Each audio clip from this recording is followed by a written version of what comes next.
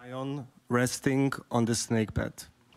In beautiful Srirangam on the Kaveri River, he changes the evil hearts of people to good, helps them control their five senses, and relieves them of the burden of their troubles and sickness, making them his devotees so they can follow the ways of Dharma in their minds.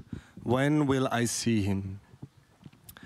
So there's a lot to unpack in this verse.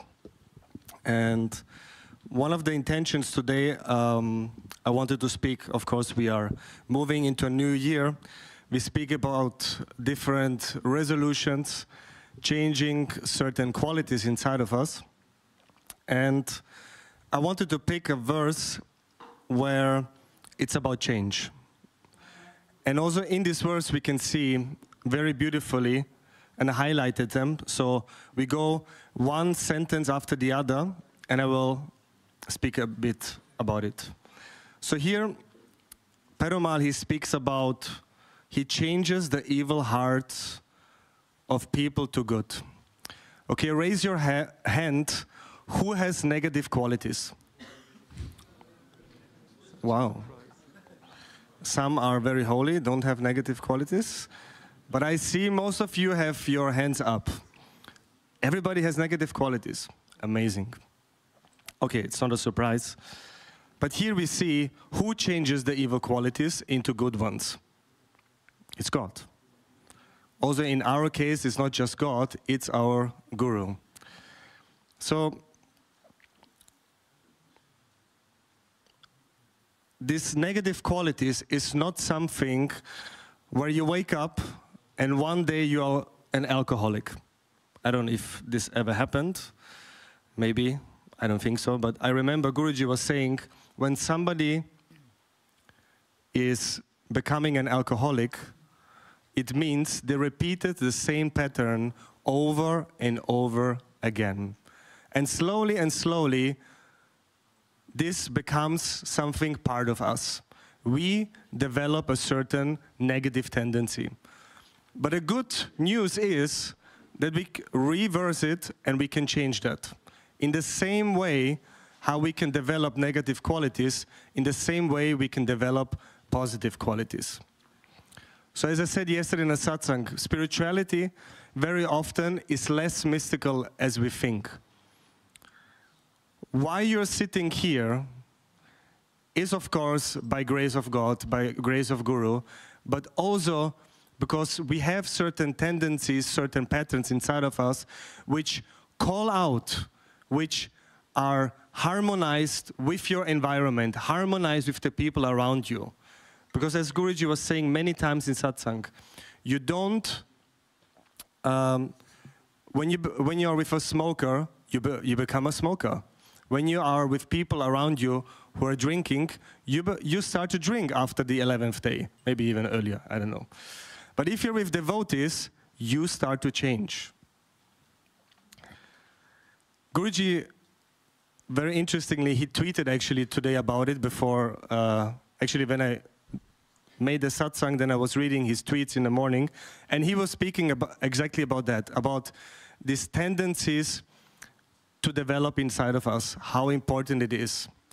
And he was saying, Crises and challenging times are mini deaths.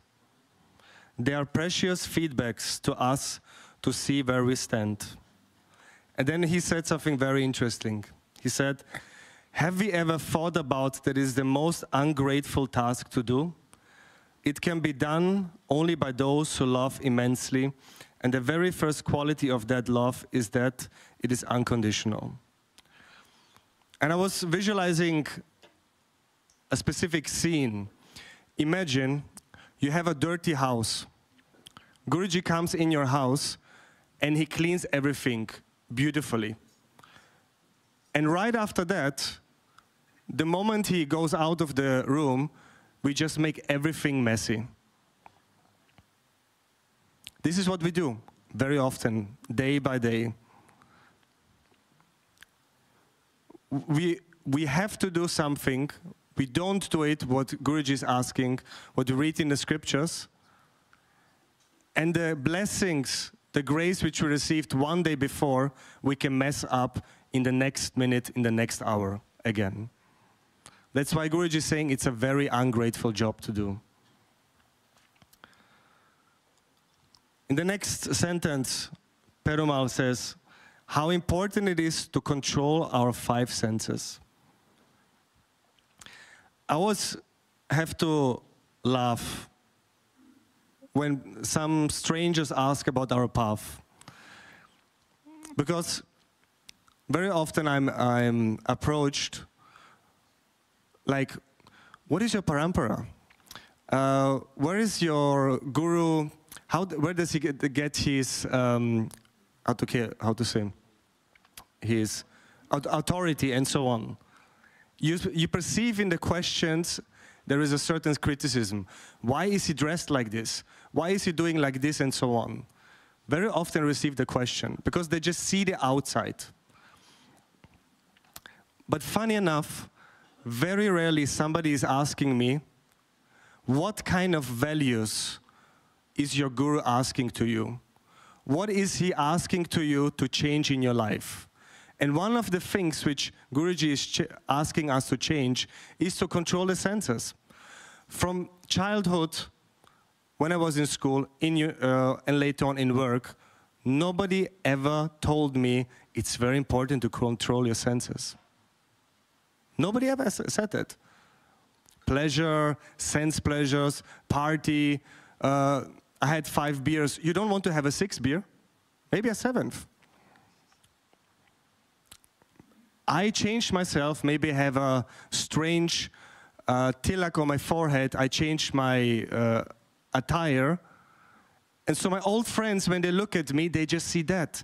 They just think I just changed myself on the outside. But they don't ask, what is your guru actually wanting from you? When they would ask the question, I would just say, he wants the best. He wants to bring me to God. He wants to bring the best of the best inside of me. But people don't want to hear that. They just see Hindu rituals, they just see some strange music and so on.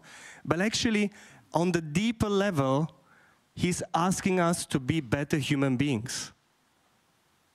From my family, not even one was asking me the questions.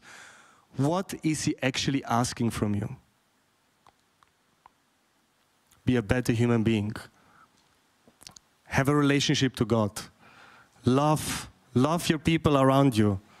Be compassionate. All these qualities. And that's the strange thing. So, Guruji was saying in, I think it was Bhakti Talks, oh no, Shandilya Bhakti Sutra maybe. So he was saying, three qualities which God attracts. The first thing is purity. What is Guruji asking us? Have a pure mind. Feed your mind with positive things. Second, innocence. Be innocent like a child. Be playful like a child. When we look at the children here, how are they? They are how God have created them. Only later on, when the mind kicks in, we start to accumulate more and more all these patterns from society, from family, from friends, from workmates, and so on. And the third quality, which I think is very important, and this is our part, what we have to do the most, is perseverance. What is perseverance? Somebody's uh, nodding with the perseverance means you keep on going in German Durchhaltevermögen. just keep on going. And Guruji was just tweeting today about it. If we go through tests, if we go through troubles, this is the feedback which we receive back. Where are we standing? Are we going to back in our weaknesses? Are we going back into our old habits? Or do we keep this connection to God and Guru? Yeah, maybe it's not uh, comfortable, maybe we don't enjoy in that moment our path, but this is actually the crucial moment where we still choose to hold on God and Guru even when we don't feel even an inch. We hold on to Him, and this is how He brings us through that storm. Because very often we are like drug addicts. We are drug addicts of, I want to feel something. I want to have joy. I want to have, feel that peace. I want to feel in Kriya something and so on. We are none other than drug addicts. Just going from one feeling to the other. But when we look at the saints, how they went through that storm, they keep on going, chanting, visualizing God's image, going through that storm. And then what happens? There is a light at the end of the tunnel. So, as Guruji says, the three qualities perseverance, and this is what rings a lot in my mind to remember myself. Then Perumal, uh, what was his name? Sorry, Perumal. uh, he's saying, relieves them of the burden of the troubles and sickness.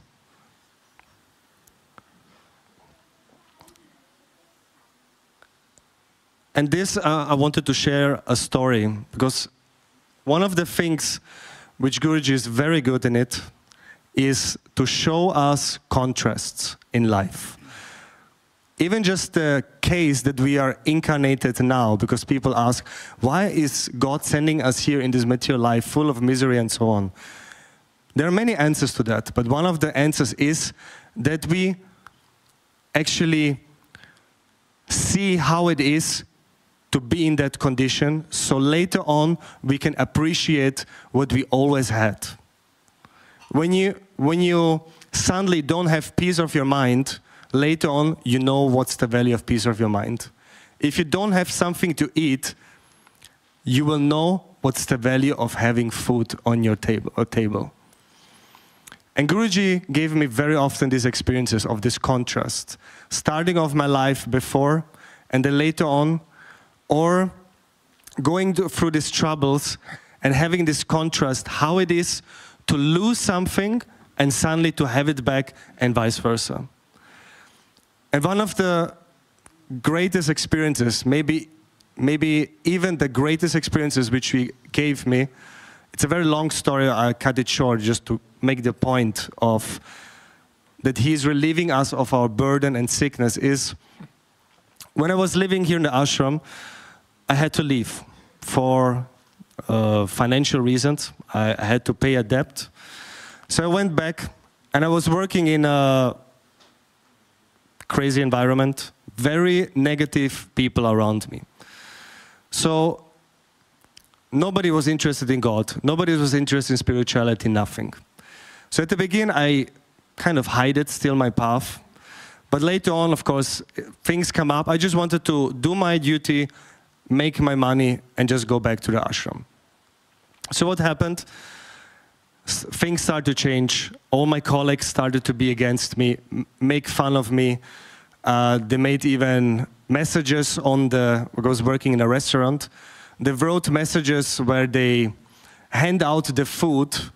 They put like images of saints there and wrote 666, Satan, devil, and all this stuff. So I came in the kitchen, I looked at it, and the guy, like with this very psycho look looks at me with a knife in his hand and he says, No, are you scared? Are you scared? And this was the moment I was really scared. I was just terrified. It was because I was like in, in an environment looking back how it is in the ashram, being surrounded by devotees, and suddenly I'm standing here in this kitchen and I'm thinking, I just don't want to be here. But actually, the worst part of it is not the people, they are just how they are. They have their qualities, but to perceive that fear, that insecurity inside of me, that was the worst part. And I was asking myself, what did I actually learn from Guruji? One comment, one look, and suddenly I'm back in such a pitiful state that I'm thinking myself, this is not real. So I went to my home and I was just looking at satsangs. I was trying to find the reason or how I can go through that. And then I went to the ashram. There was a darshan. I spoke to Guruji. He told me something what I should do. I came back to Vienna, back to the work, and suddenly the worst situation happened. No? He brings up all these insecurities, huge drama in the work, and again, this fearful state. So I, I went back home, next day to the work. And so I did, I just thought of God the most intense way which I never did before. Just visualizing his form, chanting his name, because just to look outside, just to be in that surrounding, perceiving that fear, it was just like unbearable. And suddenly, when I was going out of the kitchen, without me doing any huge effort, suddenly a thought appeared from deep, deep, deep of my being, which said,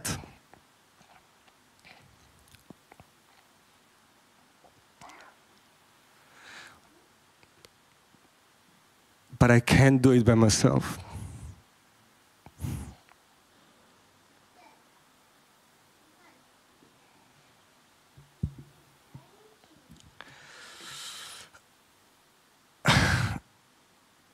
And suddenly, in that moment, everything changed.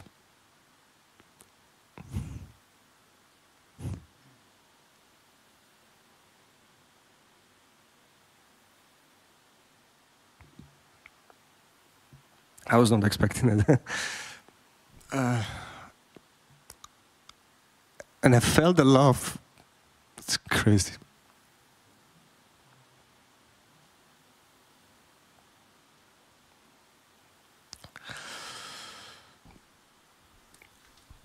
Everything changed.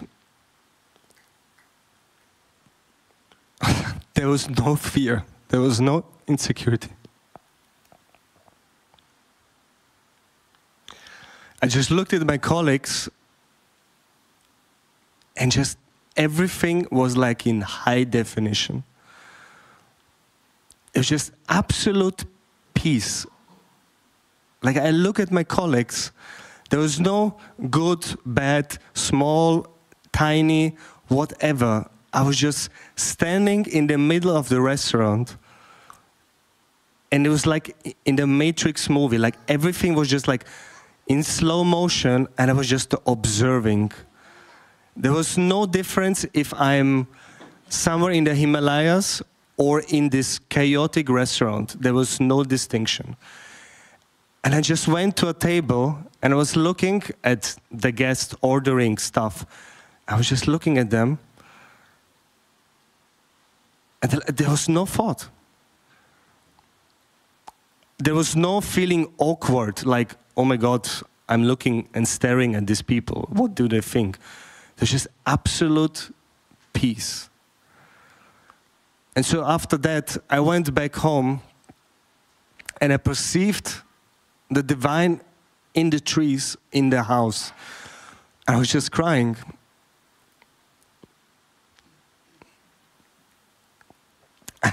I even wanted to do arati to the trees because I, I perceived God in that tree. And I went to my home, I was just sitting in front of my altar, and I was thinking, what the heck is happening? so I went to sleep. The next day, I wake up the same. I look at my hands, it's like on a, on a drug trip, like, whoa, who is this? No identification with, with the body. I was just walking around in my flat, and everything was just fresh, new.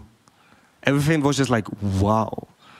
The sink, the kitchen, wow. and I went, and I went to the restaurant back, and I remember, and this went on for, I don't know exactly, around three or four days. I made memories in that state And I was writing in my memories, like, I, I have no idea what is happening.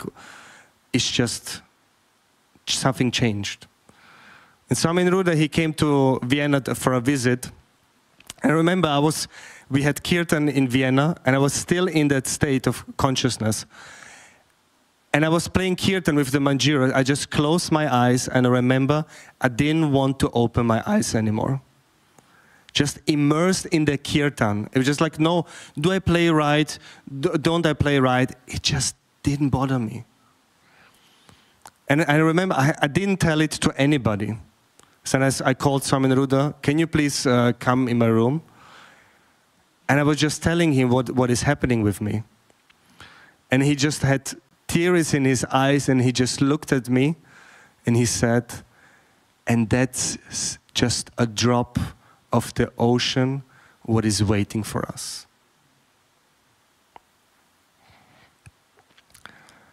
And then after four days, and that's the funny part, after four days, it was too much. It was too much of responsibility. It was too much of, there was no, okay, do I save or not?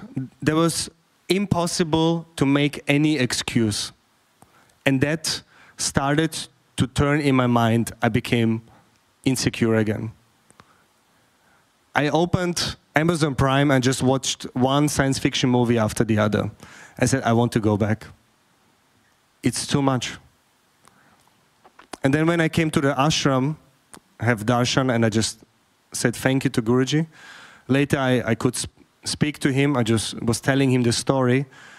And the only thing what he did and said was, he raised his hand and he said, patience.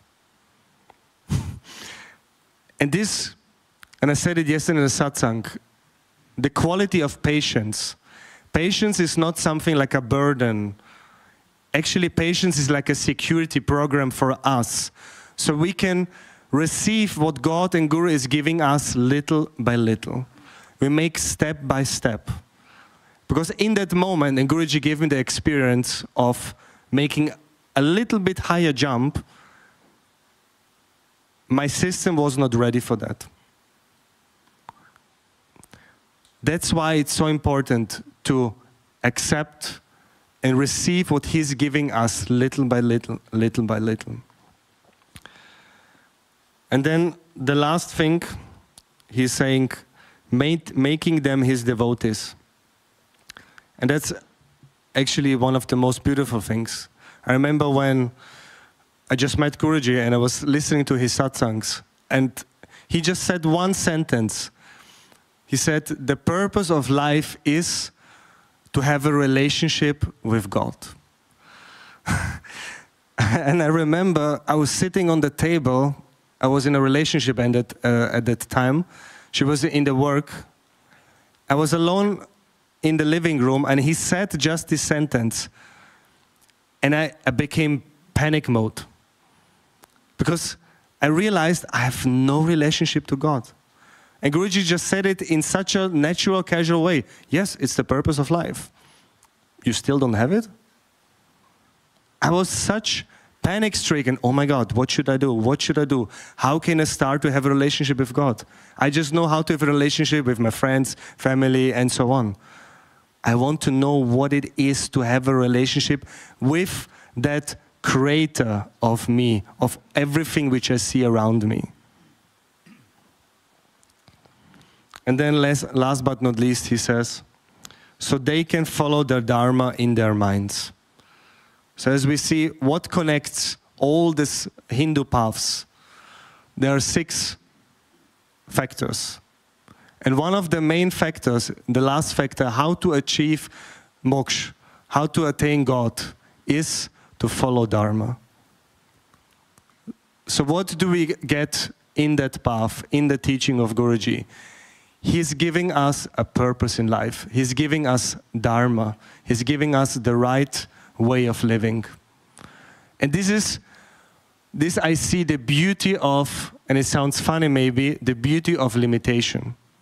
Because people say, oh, you're, you have a guru, you have to do this, you have to do sadhana, and so on. But actually, the sickness nowadays is that we have too many possibilities. Look at the youngsters nowadays. They don't know what to do. They start something and then let it go. Start something, let it go. Oh, why? Because uh, maybe I could do this, maybe I could do that. Nobody wants to go deeper in the path. Nobody even knows what's the purpose of life. And we just take it for granted. Yeah, yeah, live according to Dharma. But actually, living a dharmic way is how our life becomes not just a gift for us, but everybody around us. And what Guruji said, change yourself and then you change the whole world. Just recently in online darshan. It's not going around, going on protests and trying to change the government or whatever. No, changing ourselves, living according to Dharma, and this is how we change the whole world. So, and as we go to the year 2024, one of the things what we can do to help Guruji, because when we see at all these qualities, we receive so much from God and Guru, but it's a cooperation. How many people raise their hands that we have negative qualities? Everybody. So how, how can we change that? How can we help our Guru and God to change that? We develop positive qualities. And there is one thing, you can take it or not, which helped me a lot, is to have a, this is very practical, to have a habit app. Everybody has a phone, right? No? Okay, one person. but 99.9% .9 of people have a phone. We have so many different programs on our phone, but one thing which really changed, and this is connected to the quality of Guruji said perseverance, is to develop a habit means we have to do it every day. We take the phone every day in our hands. So putting a habit app on our phone on the main screen, you just open it, you can create your own habits however you wish to, reading the Bhagavad Gita every day, doing Kriya two times a day, uh, studying uh, Mridanga, whatever, just take it and then you can make a check every day. And then you can see how much you do this day. And that's actually how we change all these negative patterns to positive ones. So I wish you a nice year, 2024. May we become what Guruji is wishing from us to the best version why we came here in this life. Jai.